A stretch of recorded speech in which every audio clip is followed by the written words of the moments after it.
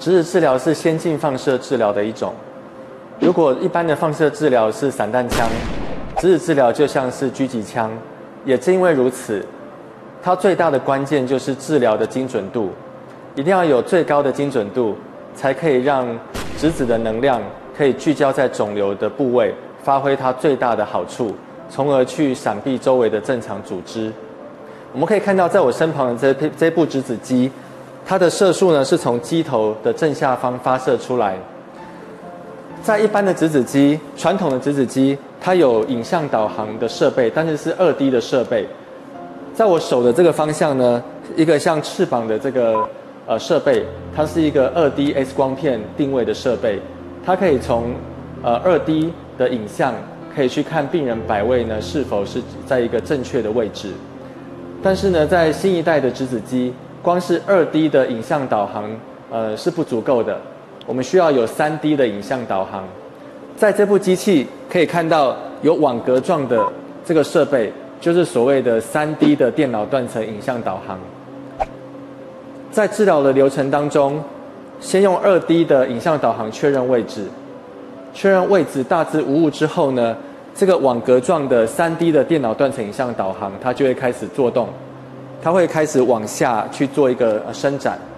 然后。会绕着病人做旋转，取得影像，取得病人三 D 电脑断层的影像，这样我们就可以更精准的去定出肿瘤在病人体内的位置。所以有借由二 D